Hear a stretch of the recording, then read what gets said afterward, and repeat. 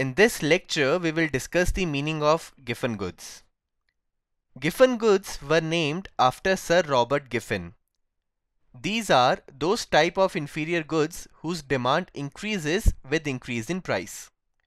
Note that all Giffen goods are inferior goods, but all inferior goods are not Giffen goods. If you are not familiar with normal goods and inferior goods, then for now just keep in mind that inferior goods are those goods which have an inverse relationship with income. So if your income rises, then you consume less of it. For example, off-branded ketchup. On the other hand, normal goods are those goods which have a direct relationship with income. So if your income rises, you consume more of it. Example, branded ketchup. You may follow the link in the description for a brief discussion on normal goods and inferior goods. Coming back to our discussion on Giffen good, let us take an example to understand this. Say there is a poor household and their monthly minimum consumption of food grains is 30 kilograms. They consume two goods, bajra and wheat.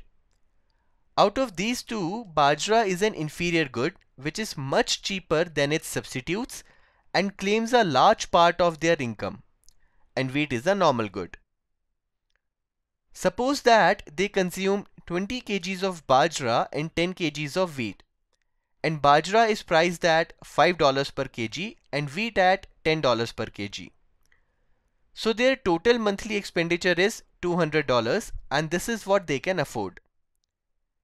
If the price of bajra rises to $6, they cannot continue to consume the same bundle as it will now cost $220. So they will have to alter their bundle in such a way that they could get 30 kilograms of food grains in $200.